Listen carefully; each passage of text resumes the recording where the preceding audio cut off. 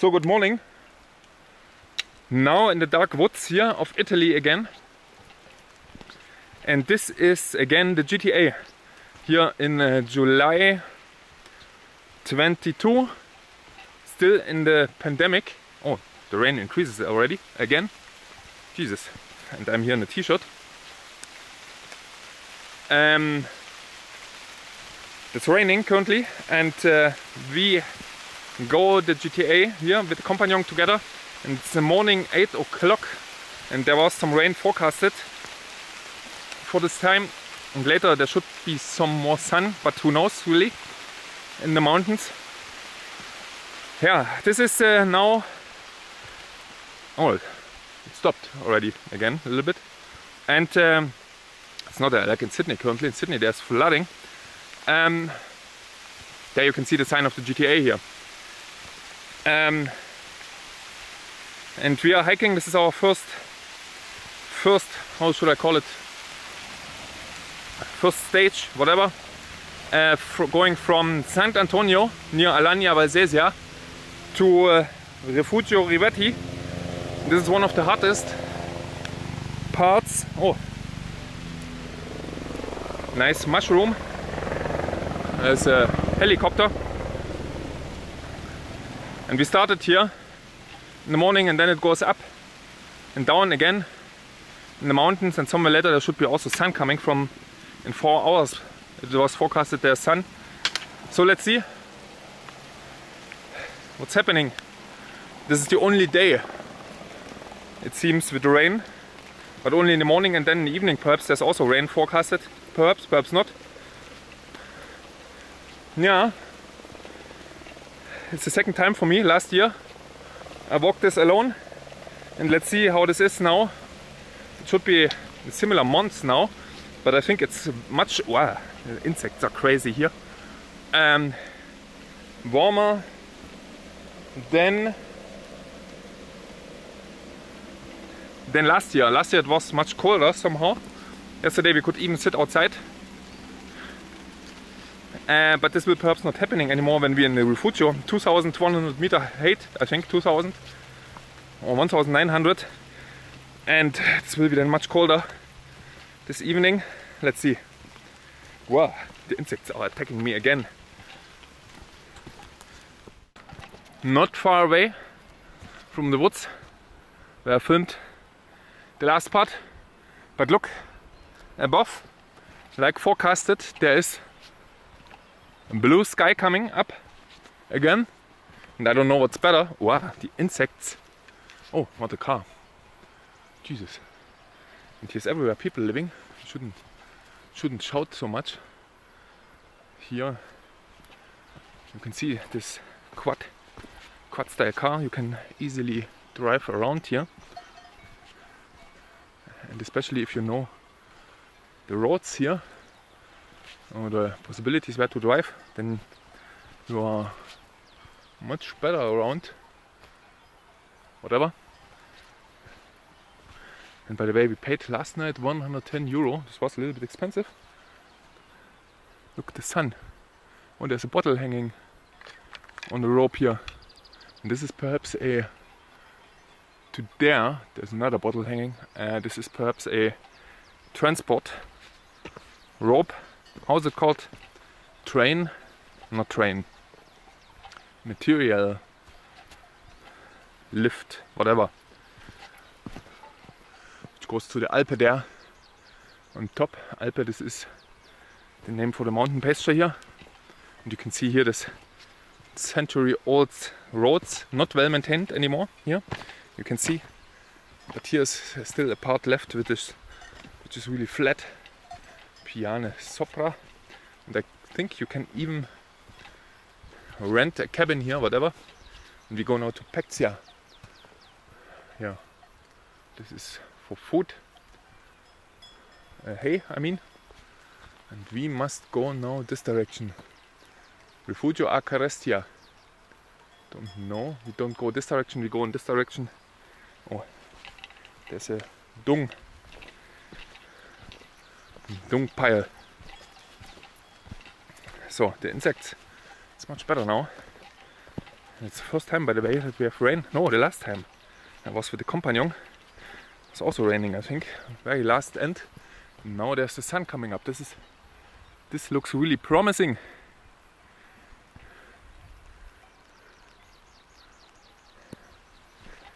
Really promising that we have then on top on the pass sun and the nice view. Four hours perhaps. Yeah, it's nine, three hours I think we are on top.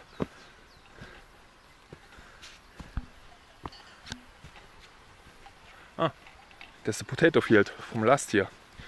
It's the same place. Ah, here by the way you can see two meter high road here established over decades with the villages here around, really small settlement.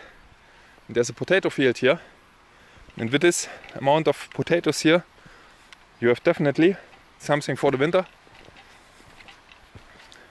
This is a cherry tree here in the slow elevations. I think it's 1500 meter currently. And there you can see potatoes. What else? It's a little bit slippery here, must be careful. It's two meter high here. Um, onions, what else can I see? Some salad, the insects are coming again I think. Salad, and then there is, how is it called? Pumpkins. Not more, there's again potatoes. Jesus, what amount of potatoes here everywhere. And then in winter you have potato and meat every day. cherries are not looking good. And there's a church and this is Peccia. This is where we came from, down the valley. This is the road here. You can even go by car here. There's a lake, a lago. And there is the last town here. This is Peccia. Peccia. Now you can see there's the sun here. Excellent, nice weather. And uh, currently uh, today is only 23 degree forecasted here in this region, but this feels already much warmer much much warmer. Oh, there's the last electricity pole here. Without the electricity pole, everything looks much more authentic, old here. Um,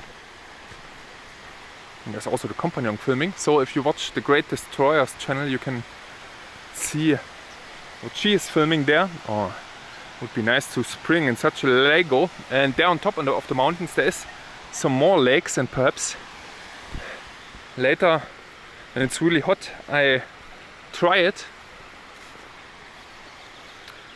There will be no there will be no lake then on the whole journey anymore. This will be the only lake. Look at this nice mountain village here. I have a PV panel with me. There is a little bit shortage perhaps of electricity. Power supply. Not too much. I think it would work also only without but I'm not sure. Because definitely in the next night is electricity only available in the night for one two hours. You can see there it's perhaps the oven for food in the morning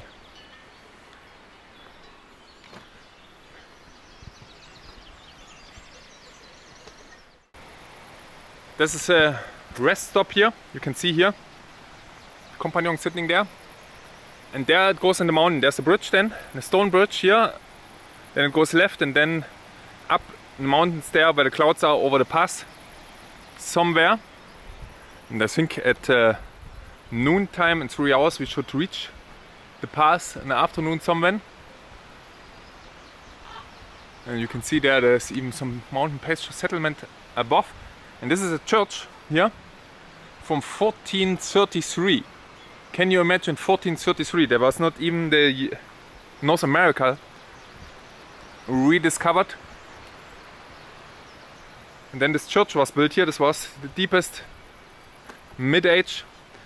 And like in everywhere in Italy, it's possible to go inside. It's always open, the church. There's even the tower here. You can go up. And perhaps not not now, but normally you can go up. as well. It's small. Look at this church. A church in the mountains. How this looks. A basin.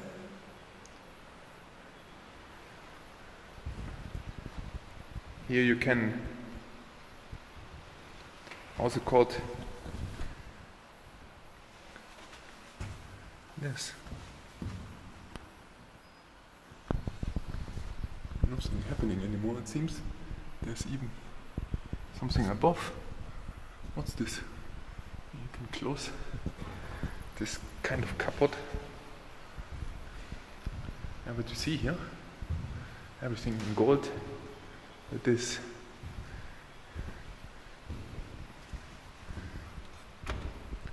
and are some candles candles inside. And gold and this is perhaps original but the color disappeared somehow. This is not this is only a painted window but this is open here where the sun is coming in. Unbelievable. 14th century no 15th century 1400s bellissimo. Unbelievable. What crazy times. There are some old mountain pasture movies. This is really a depressing atmosphere. But once much much more people lived here and everything was cultivated you can still see here the rock stone terrace terraces here and everything was full with the fields here everywhere around and much much more people lived here. You can see it. No it's not much much more.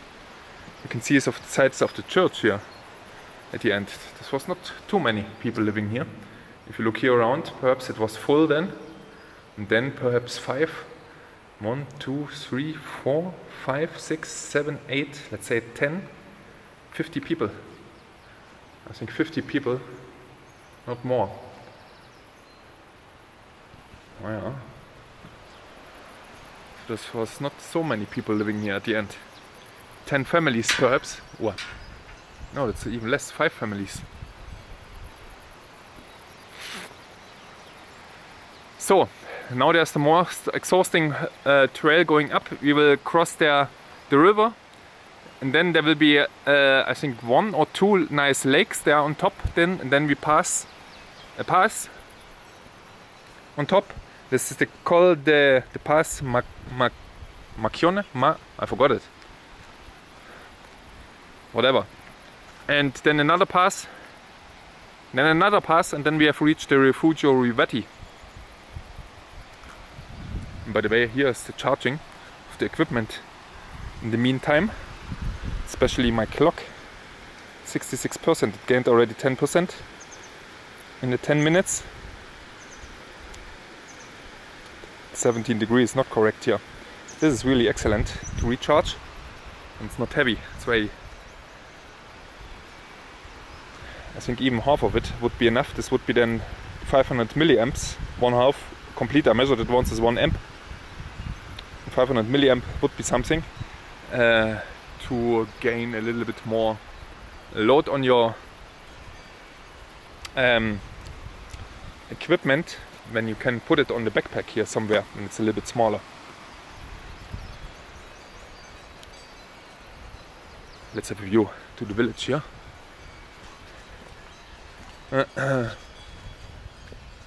then there was another building here, somewhere it's not existent anymore. It's unbelievable always here in Italy how old everything is. I can't read it. But here's something written in English. You can press stop if you want.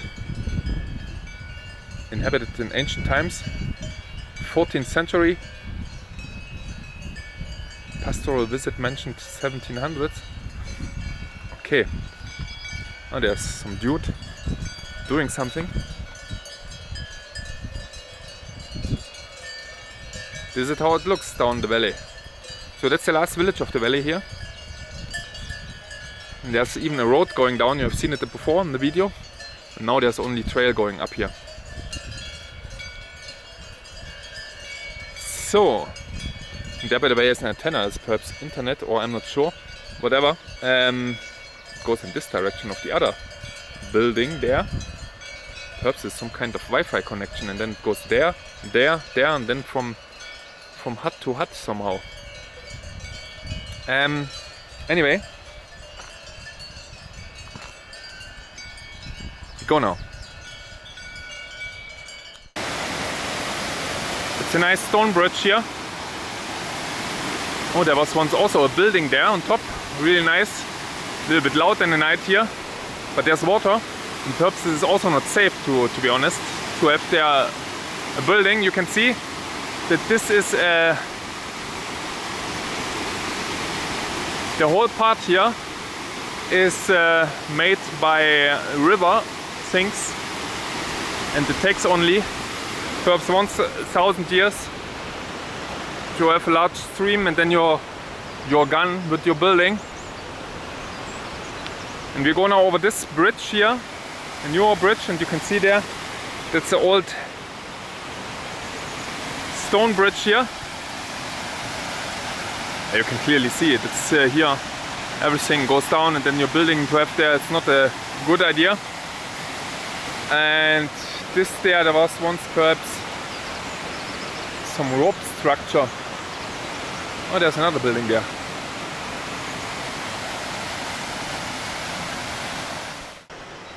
So again a little bit higher, this is where we came from.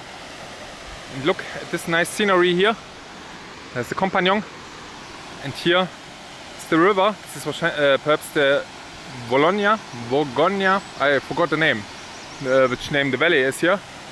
There is the mountain pasture and we are going much higher behind there, around the corner somewhere over the pass. There's still a bit clouds from time to time. That's much better than all the time pure sun but I think it's only today it's tomorrow tomorrow there will be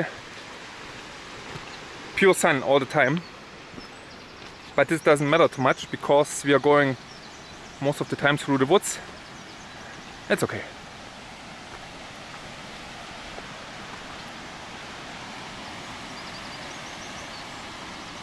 Oh, there's a basin So this is now Alpe Mo was? Macagno. Alpe Macagno. Und Compagnon is cooking their tea, uh, tea. And look at the nice view here. And it's unbelievable hot here in the sun. But there is some clouds coming there. This is the pass we have to pass at the end. We have to go over this pass there. And there's from time to time really thick clouds going through and there's more and more clouds coming from this direction. And this is uh, the wind direction. And the clouds are coming and soon there also our energy supply will will be over. And look at this here. Oh there's also everywhere clouds here. So we will be soon really in the clouds here. In the fog. This will be then much colder. It's the last piece of uh, blue sky what we have currently here. we have the uh, nice gap. By the way, last time I was here I expected that there are people here uh, at the Alpe but there's no one. And you can see this in the distance there, there's everywhere clouds. And now it's over. The sun is going down. Well, it's not going down, but um, the clouds, you know are now covering the sun.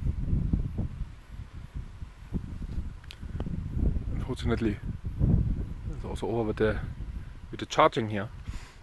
Uh, but anyway, um, we go now this direction there, and this is uh, perhaps again one hour till the pass. There's another lake here behind the pass, and then another hour for the, to the next pass, and then another hour to the next pass, and then that's finito. And then we have reached Alpe, not Alpe, this is Rifugio Rivetti. uh, where we will stay overnight then. This will be perhaps cold when there is such thick clouds here. Yeah, if the sun is gone now, I can feel it. This is much colder. It's only the sun which makes it warm here. Oh, this is open. Uh, no, I think it's closed.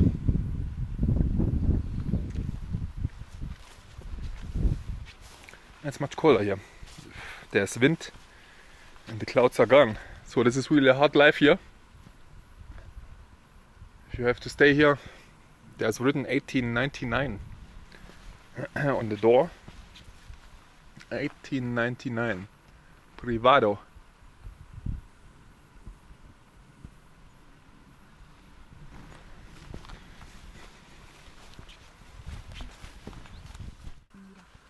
So, look at this direction here. In this direction, by the way, these are Mammatus clouds here.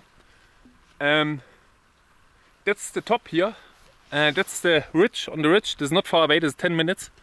Only 10 minutes and we are on the on the path. And here in this direction, there is I go up here. This is where we came from. Here below, there somewhere. There's even a lake on the right side, and this was really a thunderstorm, five kilometer, coming over us.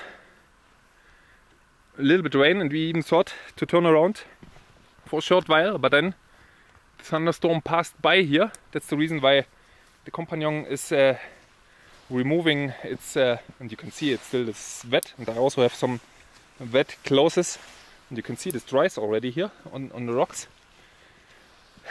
And then the blue sky here on the left side, and this is the wind direction. This is the blue sky in 10 minutes, 10 15 minutes when we are on top of the ridge there. There will be excellent uh, blue sun. No, sun. And what's even more impressive is there in this direction you can see already the Monte Rosa a little bit. Now with the wide angle lens this is perhaps not possible, but there is really nice visible already for me there the Monte Rosa behind with snow fields covered in snow and perhaps when we relax a little bit on top there there's no wind here absolutely nothing that we can even see the Monte Rosa then. We have still plenty of time.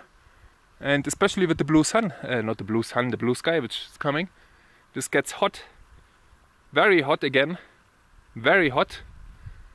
And then we can relax a little bit. See you then on top of the ridge. So we arrived now on the pass and this is where we have to go here through this uh, I don't know whatever hole and then there on the left side. And then is there another pass to go. And here is where we came from on the other side. And this is the Passo del Macagno 2493 my clock says 88 um, but they should know. And this is, by the way, there in the very distance, this is the houses where we started, where we had our lunch. And very far in the distance there, this is now gone again, is the Monte Rosa. Normally you would have really a nice view of the huge mountain there, the Monte Rosa in the distance. And by the way, there's there was still no single person since the village which we met. No one, absolutely no one. Completely alone here.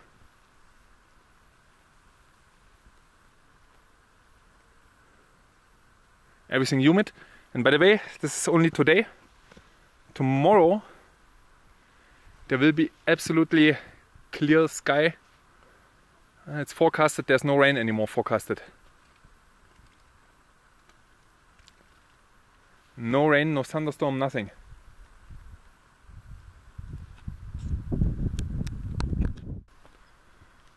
So behind the rocks there, there's the second pass.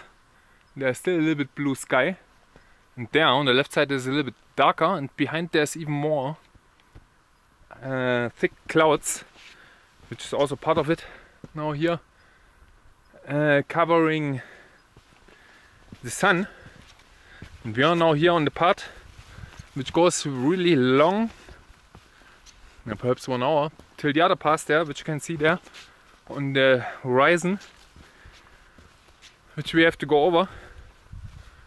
And then we have reached the Refugio Rivetti. I think it's one hour here still to walk. Let me check, it's five.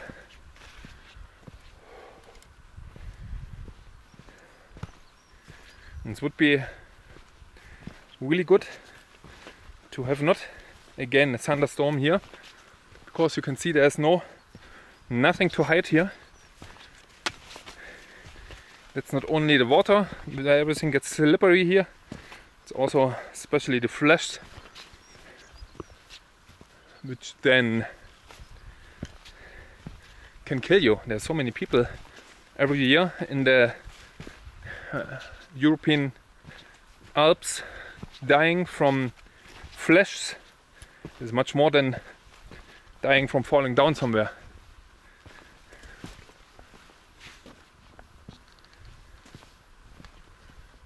Here goes down to another village, uh, valley, valley. Oh, this gets blue again there in the distance. And here, after this ridge, then behind is uh, a valley that goes into the Bo, uh, Po, Po flatness. Uh, someone told me Po Plateau in the comment section. Where's, how is it called? But I forgot it. I only can still keep in mind the Po flatness. Everything flat behind. Really dramatic view, which we can see then. Hopefully here 2500 meter high. And then everything is flat behind. Only perhaps 200 meter high and flat. No mountains, nothing. Whew. It's exhausting. uh, raining again. You know, I, I'm feeling raindrops. And the uh, ground is not very easy to walk. There's some rain indeed, but it looks not, so dramatical. The sun here above comes out soon, but looks here. Look here, there's a village there in the valley. Some drops, but in the distance you can't see really anything. And I have thrown down my camera, my Sony X3 3000 again here, and I knew that some something happens. And I hope that optical system is still working. Because this is the problem with the Sony X3000 if you have thrown down from 50 centimeter everything's blurred. I will try now and see then on my cell phone later if everything is in good shape still there's the companion. If the companion is sharp, then everything is okay. I hope really that my camera works. Let's see if this there in the distance, this hut there is sharp. And we came from there and we are now very much through, I think 20 minutes. And look at this direction, there's the clouds coming over the pass where we have to go later then. And there's everything thunderstorm kind. But there's the sun coming out. This is the better direction here. And this all the time sun. It looks so nice there with the clouds there coming over the pass. We will see this on the ridge a little bit much better. A little bit much better. Yeah. And this is a house without a roof.